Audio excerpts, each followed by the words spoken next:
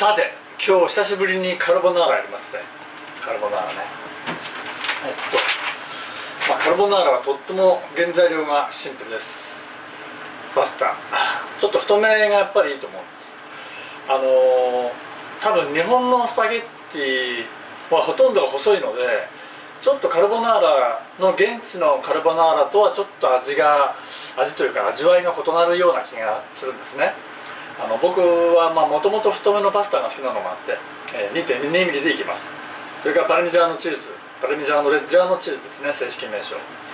それから卵と、えー、黒胡椒、えー、とパンチェッタ、まあ、これベーコンみたいなもんですけど要は生に近いですね。あのパンチェッタの方が。燻製してありませんのでちょっと生肉をこう塩漬けしてハーブで。塩漬けして、えーまあ、保存した保存できる食品となりますな。それが塩です。ではやっていきますね。えっと今まであのイタリアに何度も何度も行ってますけどすっごい美味しかったカルボナーラって、えー、今のところ覚えたのは2軒ですね。この2軒はもうすぐ頭の中に出てきます。1軒はローマのトラステベレっていうあのすごい下町があるんですけどね。えー、そこの下町のねなんだっけなんとか広場だったなんとかフィオーレ広場だったかな、えー、そのトラステーベルの対岸の方ですね。つまりそのトラステーベルは下町であのー、まあトラテベレ川っていう、まあ、ローマをこう S 字型に切り開いてるその大きな川があってその向こう側が下町なんですよ。で中の方が、まあ、いわゆるそのコロッセオとかまあ、いろんなそのパンテオンとか寺院とかがあったあの一角なんですよね。そうやってこう下町と、まあ、普通のその貴族たちがいた町はもう分かれてるんですけどその下町にほど近いところにロッショーリっていうねロッショーリトラットリアじゃなくて食材店なんですよ。があったんですね。でそこをその噂聞きつけましてねまあ行ったわけですよ。そうしたところがねここがまあ異様に美味しいあの料理を出す店になっててで今あの投入したパスタはこのパスタいつも使ってるおすすめのパスタマンチーニっていうやつなんですけど、まあ、2.2ミリなんですね。でまあこれを使ってるわけですその店。でえー、っとまあその奥の方にねカウンターとあとちっちゃなテーブルみたいなので予約しないと入れないんですよ。でもただの食材屋さんですよ。あれを見てね衝撃を食らいましてね。でそこを連れてってくれたのがあの日本が大好きなあのイタリア人の人でね、えー、なんつったっけな。んとか忘れちゃったけどその彼が、えー、ぜひここは美味しいからって予約してくれたわけですよ。いやびっくりしたものになって。むちゃくちゃうまかったです。まずあの一つ目の違いはね生クリーム使ってないっていうことだと思うんですよね。でもう一つの違いはそうだな胡椒の引き方が結構荒かったように記憶してます。なので、まあ、そのカルボナーラの語源って、まあ、炭焼き職人ってやつなんですけど、まあ、カーボンっていうのは炭のことなんですよね。でその炭焼き職人が作ったらどこんな感じなのかなっていうことでどうもあのスタートした 料理らしいんですよ。ああんまりその詳しくないけど誰が最初に作ったのかね分かんないですけど、まあ、そういうまあ料理ですよな。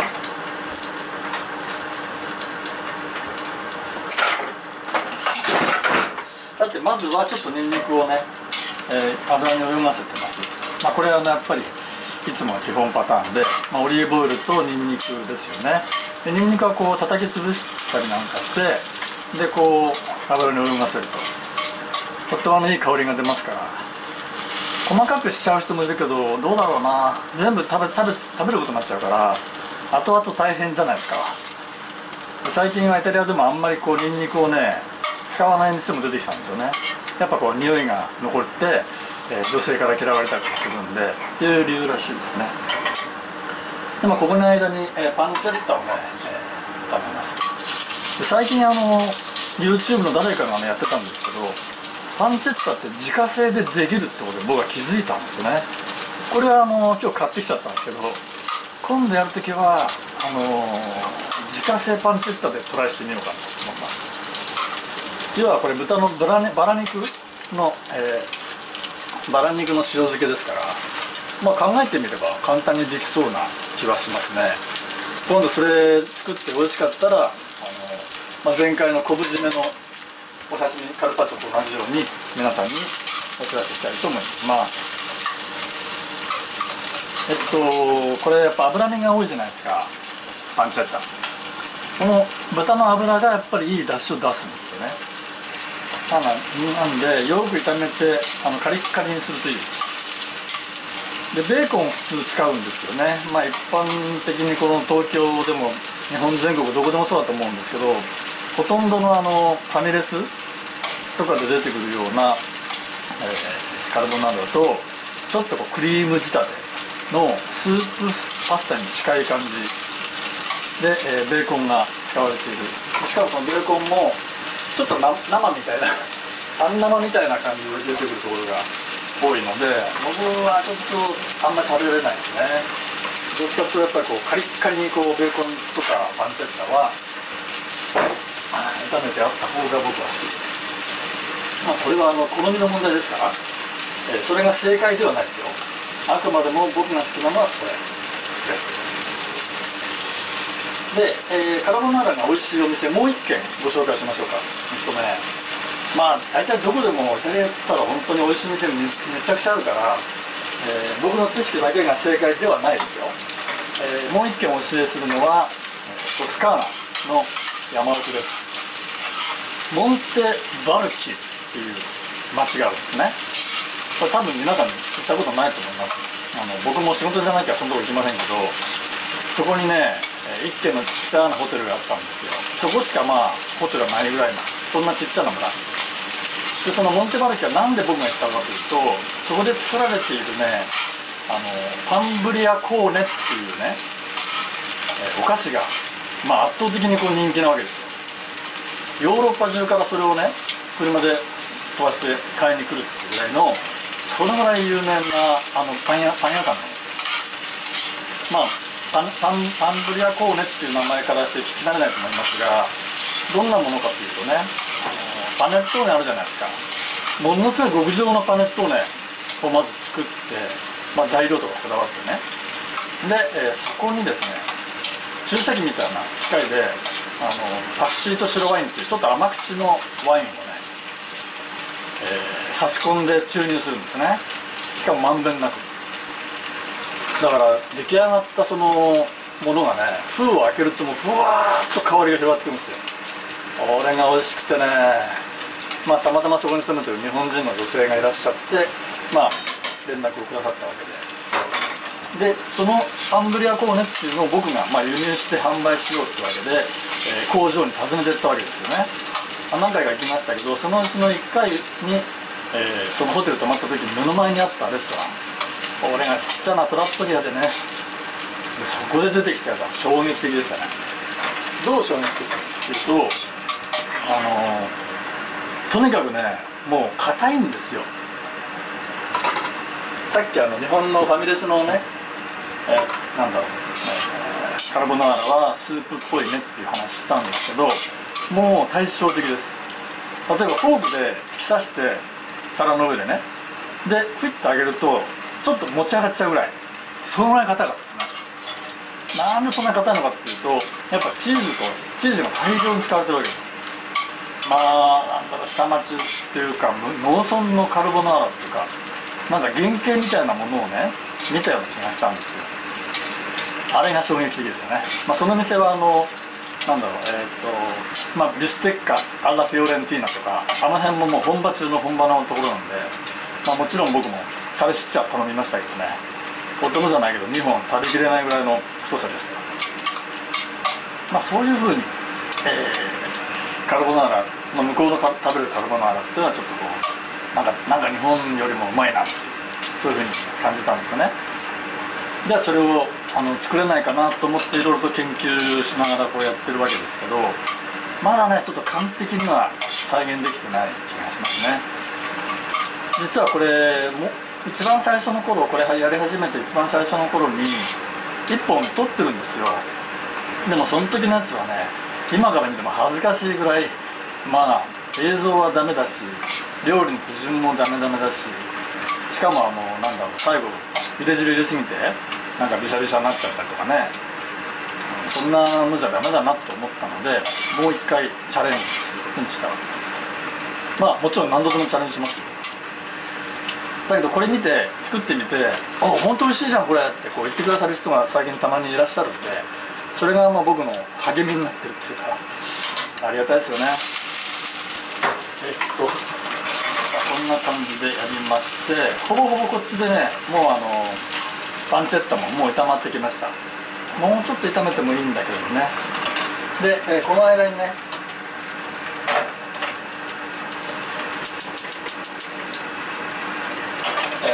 えー今度はこれです、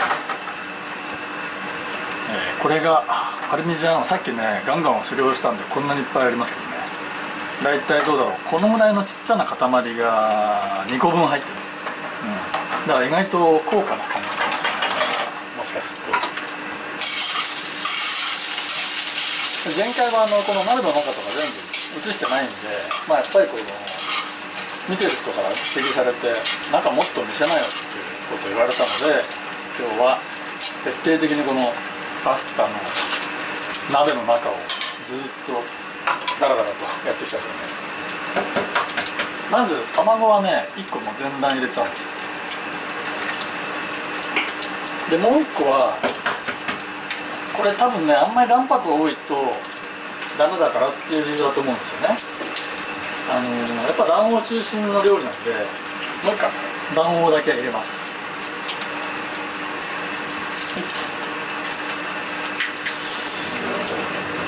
さてこれをねフォークでよく混ぜるわけですよおっとっとこれもいかん。はいこっちはね。もうそろそろ十分すぎるぐらいして。ますのでニンニクは取り外してみます焦げちゃったダメだたまにこういうポカやるからねまあ見て後で見ると本当恥ずかしいんだけど。あえて編集もしません私。っしゃ。はいこれはもうこっちは完璧に出来上がってます。でそれとねこうやってほら混ぜるわけですよ、うん、いい感じですね。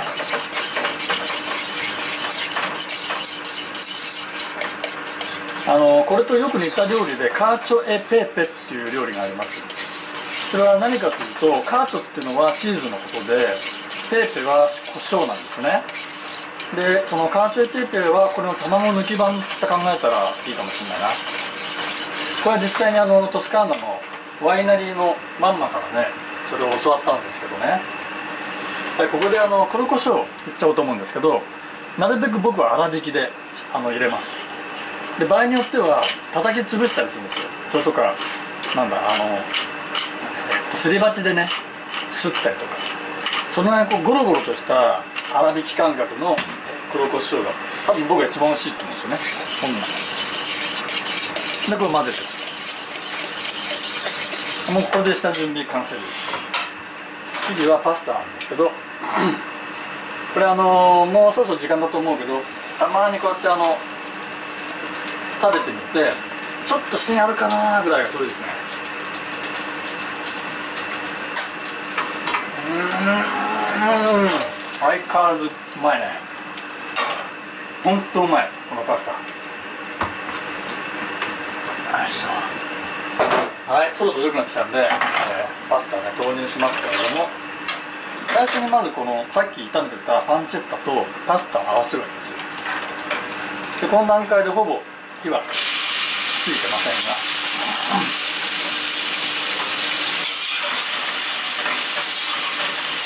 うまいよであの皆さん気をつけてほしいのはねパンチェッタって意外としょっぱいんですよ。かなりしょっぱいかなりしょっぱいんでこの段階で塩とか入れようとあんまり思わない方がいいと思います。えー、とむしろ塩なしでもちょうどいいんじゃないかと。これ出来上がりのあれがね出来上がりはそれぐらいがちょうどいいと思います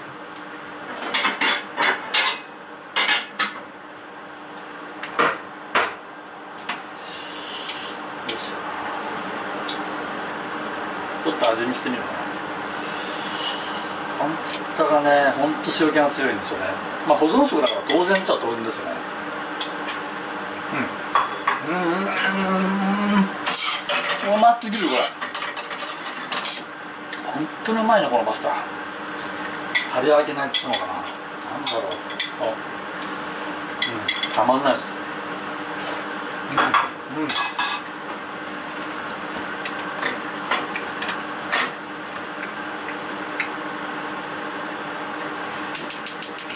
はい。でここでね。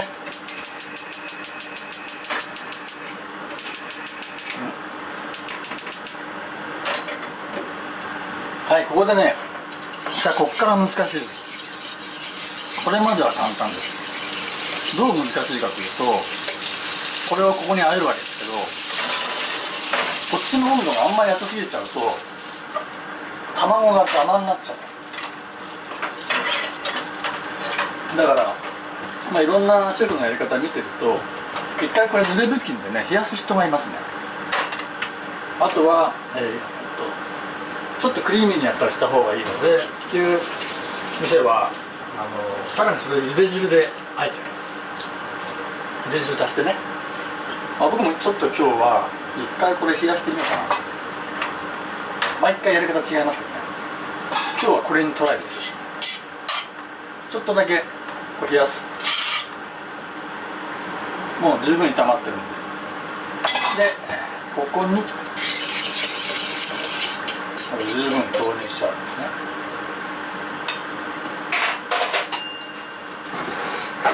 今ちょうどチーンといったので本来ならこの辺りでもう完成してなきゃダメです。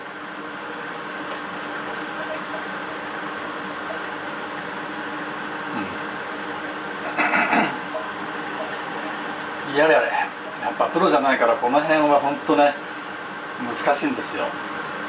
はい全部入れ切れましたね。でこれを混ぜていくと。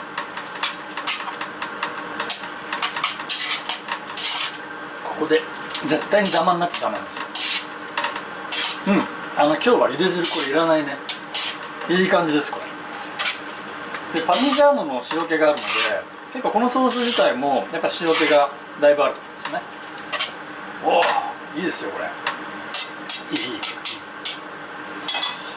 ょっと味見させてもらいますね。どんな感じなのか。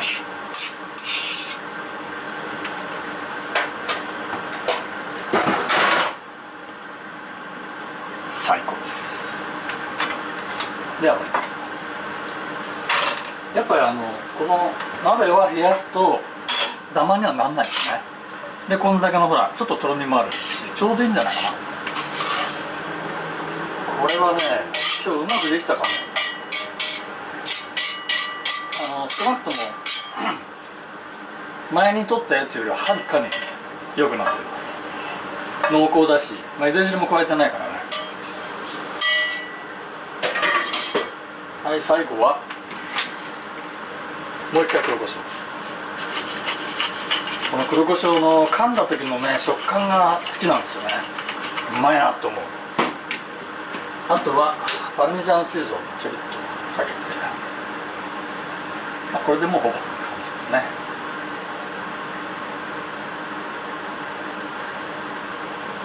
よっしゃ。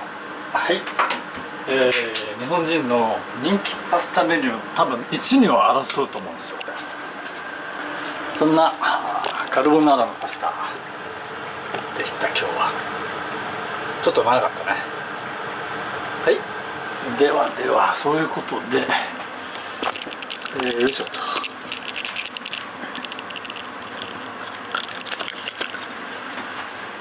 はい。えー、っと最後までご視聴ありがとうございました。